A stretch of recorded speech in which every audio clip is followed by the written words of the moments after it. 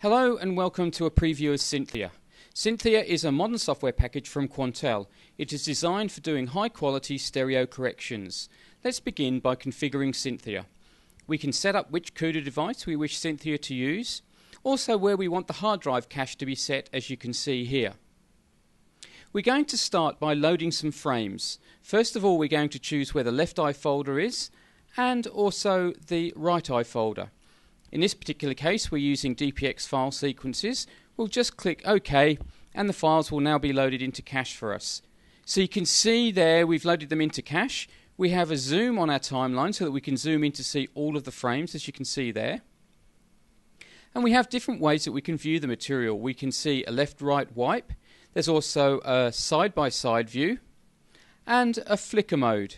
And we can vary the flicker rate at the top right-hand side there. SynthIA also has a checkerboard mode for viewing the color balance between the left and the right eye. You can see we need to do some work here. Finally, we have a half mix mode that we can use. A second monitor can also be attached so that full frame stereo output can be viewed from the second port of the graphics card. Now let's start by color balancing the two eyes. As we saw before, they were significantly different we have a range of scopes that we can use, starting with a YCB-CR histogram here, showing the colour difference between the two eyes. You can see there that it's quite substantial. SynthIA has an auto colour balance tool matching left to right or right to left eyes. As you can see there, straight away we've corrected and balanced out the two eyes. We'll just go back into half mix mode. We also have a vector scope available to us so we can check that the hue is correct between the two eyes. And most importantly, we have a horizontal and vertical disparity graph available to us. From the background to the foreground of the image, there is a total disparity of 40 pixels. Minus 20 in the foreground there, that's in the front of screen, and positive parallax of plus 20 pixels there in the background. Now, if we want to reduce the amount of stereo in the picture, that is, change the interaxial or the box size, then we can do that. We have a value of half in here, so let's just process that. This will now reduce the total disparity in the picture by half, going from plus 10 there in the background to minus 10 in the foreground. If we show you a before and after, there's the before and there's the after. And again, let's just have a look at the before shot. There we are, and the after shot.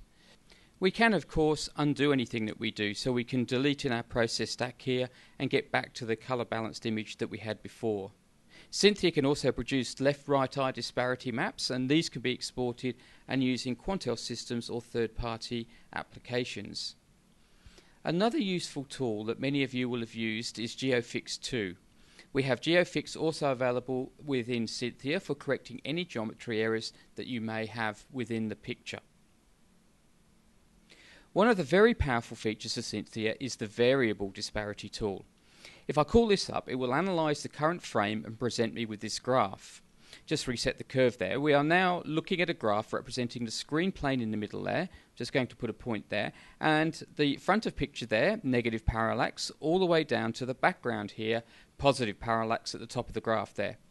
Now, if we want to variably adjust this and keep all the foreground stereo the same, we can simply adjust this graph and pull down behind the screen plane. Let's just preview that. And you can see there what we have done is reduce the amount of stereo behind the screen plane and left everything in front the same. So let's have a look at the before. Here we are. And the after. There you go. Um, and you can see there the foreground has remained the same, but we have reduced the stereo behind the screen plane. And this can be done variably across the entire scene. Once we've finished all the processes, in this case the auto balance and the variable disparity, we can then select all the frames for processing. So now let's just allow those to render. And once that's finished, we can play down the clip out of cache. So let's just play that down. And you can see there that we've got the color balance and variable disparity all processed and ready for export. So SynthIA is a modern software package that allows you to do high quality stereo correction on shots that could not normally be fixed. Thank you for your time today.